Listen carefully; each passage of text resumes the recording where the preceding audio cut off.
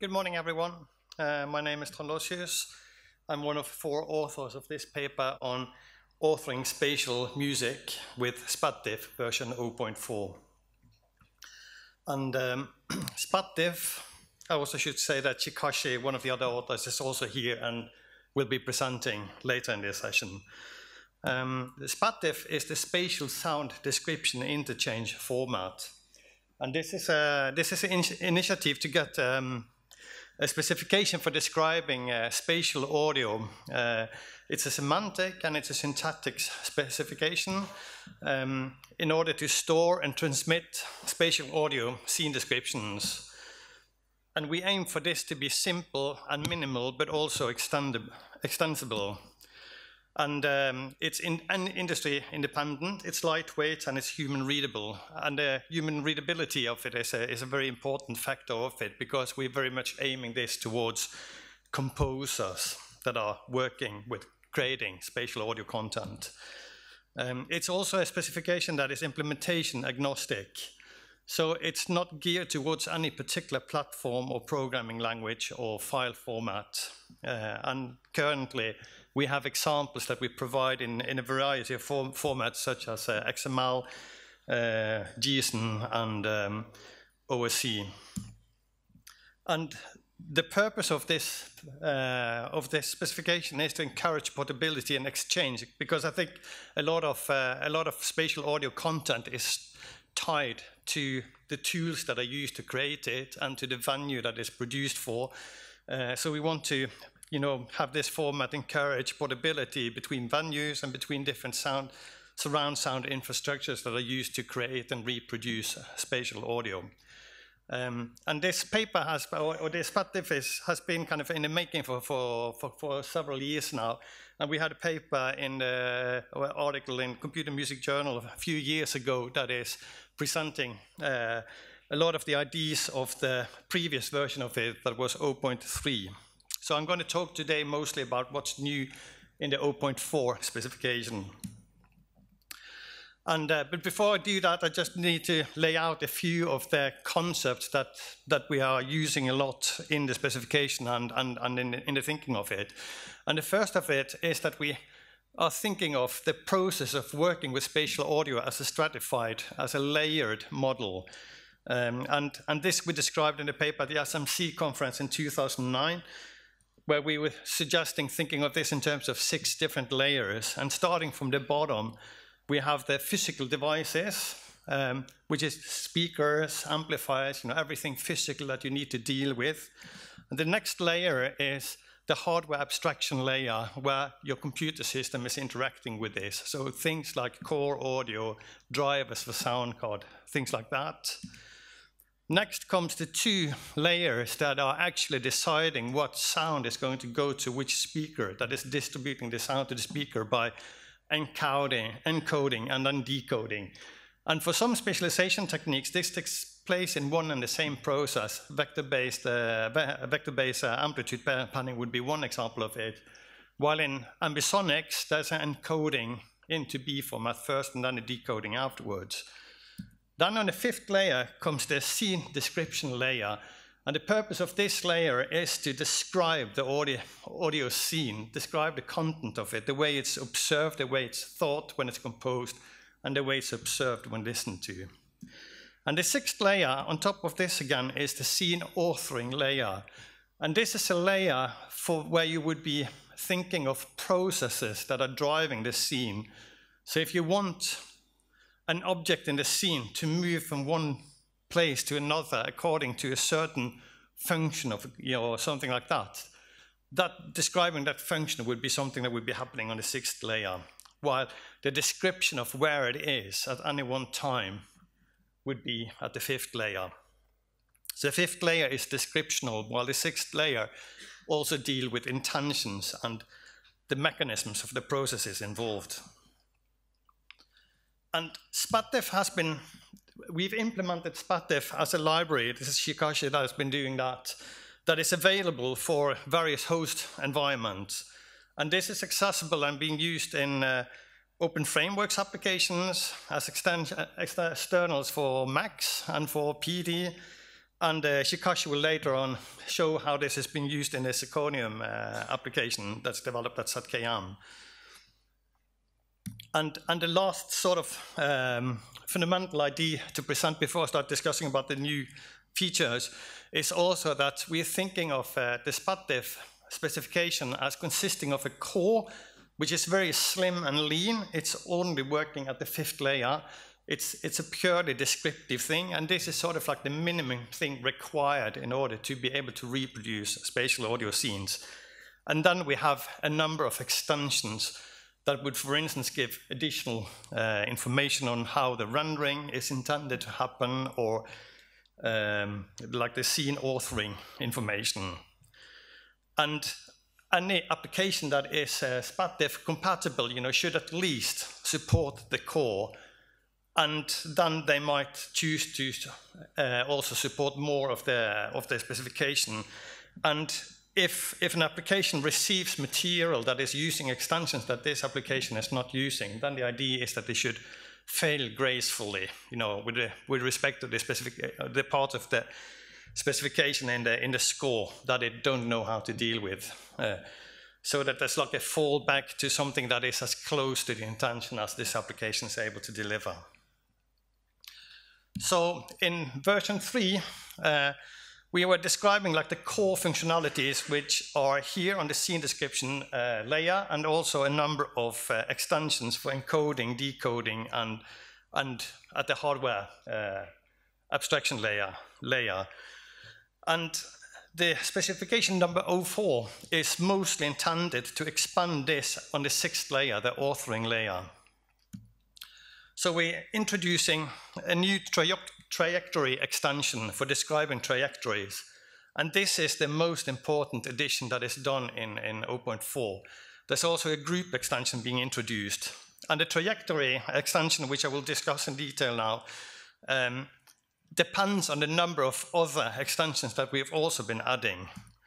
But they are not necessarily only available or can only be used at the sixth layers. We're thinking of these extensions as being accessible also elsewhere by other processes that are using the SpatDIF. So interpolation, we're extending, you know, the ways you can interpolate, and we are extending the with you know extension for points at geometry, automation, and shape, and finally, there's also an extension of the fifth layer with respect to describing like the source spread.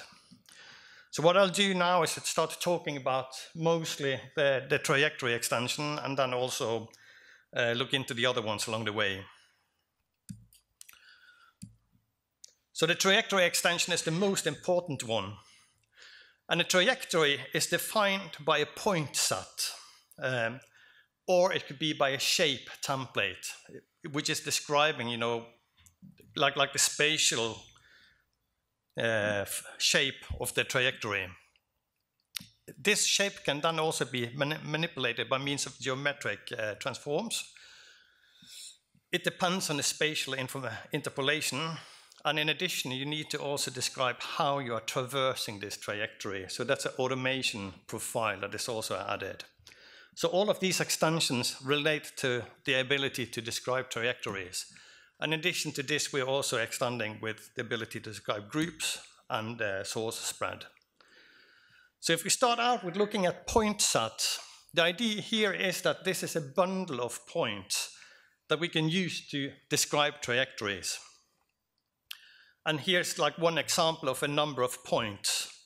And as this, uh, this illustration reveals, this also, uh, we're also using uh, cubic Bezier splines for interpolation. So that means that in this point set that there might be two different kind of points. It's the anchor points, the points that are actually on the curve, and then the handle points that are used to describe the curvature uh, when interpolating. So the interpolation extension, which existed from beforehand, you were able to interpolate, you know, do simple interpolations on the fifth layer already with linear interpolations, but now we're extending this with cubic uh, Bezier splines. And um, when it comes to the automation, um, this is a separate curve that is also described And the idea here is that if you look at the trajectory, you could think of this as a pathway, you know, that can be, you can wander along this pathway in one way or another. But automation is describing how you're traversing this uh, pathway. And we're using, um, we're able to use Bezier functions for this as well.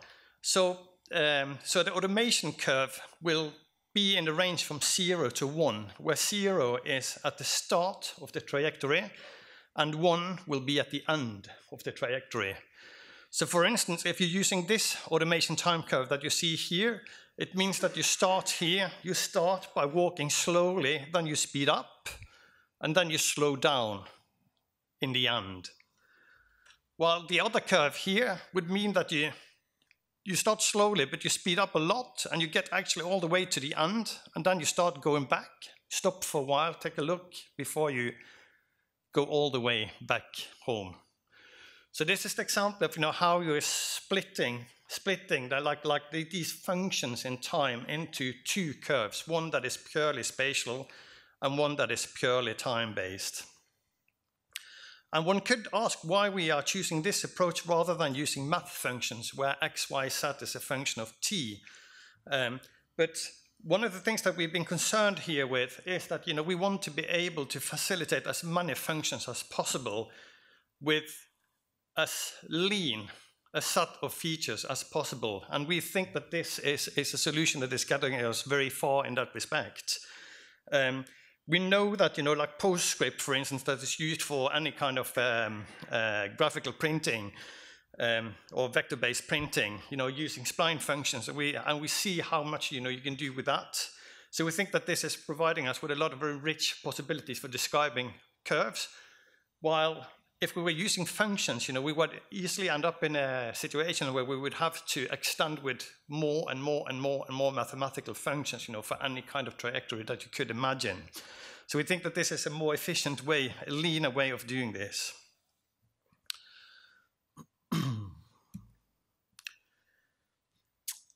It's also, I think when you're composing, probably the shapes, the, the, shape of the trajectory, you know, can often be thought of as a compositional material and as a kind of spatial motifs.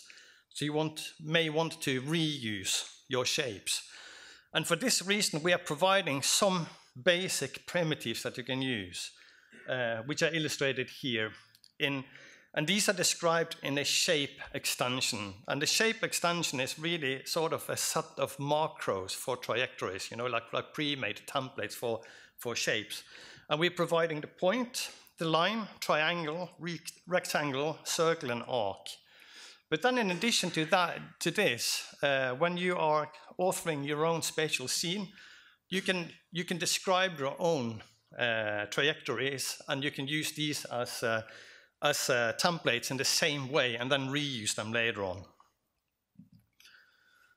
And this becomes you know, even more flexible when you're also able to do different kind of uh, affine geometric uh, transforms on these shapes that you're working with. So we also have an extension that you know, describes how to do scales, translations, which is moving the trajectory in space, uh, rotations, mirroring, and skewing of it. So this is a way of kind of like know, making these shapes into a very flexible uh, material.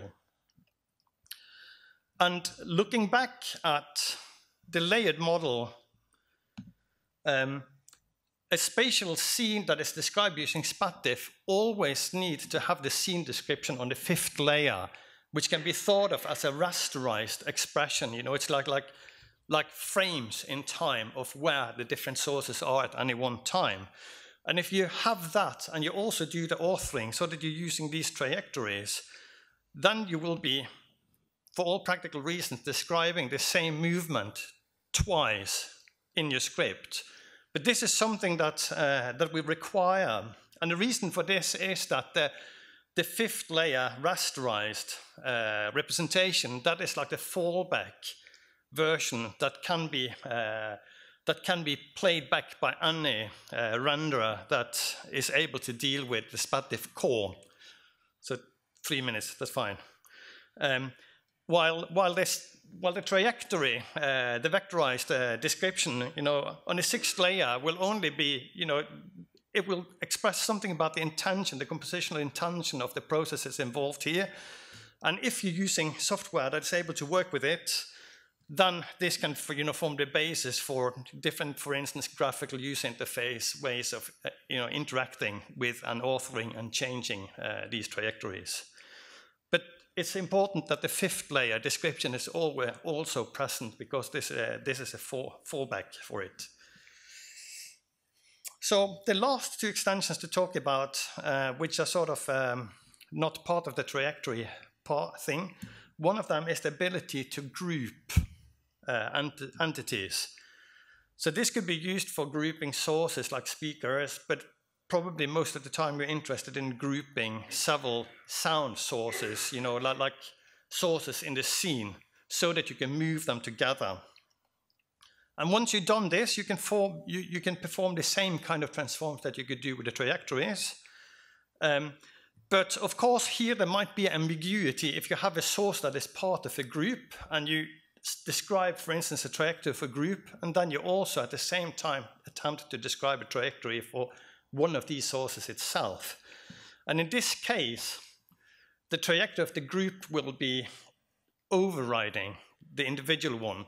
So if a source becomes part of a group, it's controlled by the movements of the group uh, and not and can't be accessed individually. And if you want to access it individually, you will have to do what is illustrated below here, that you will need to decouple it from the group, do the movement that you want to do, and then you can you know, add it to the group again.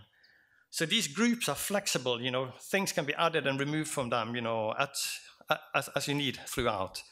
And then finally, um, the last extension, which is for describing uh, sources that has a certain uh, spatial extent. There's lots of uh, rendering, uh, rendering that have different ways of describing this, and we wanted to add like a minimum uh, general way of describing this, which is just like as a percentage. And this is something that you find, for instance, in VBAP. You find it in the distance-based amplitude panning algorithm. Um, in ambisonics, you can work with this by, by reducing the or yeah, reducing the directedness of the signals and so on. So this is like a minimal way of describing this that might be used in different renderings.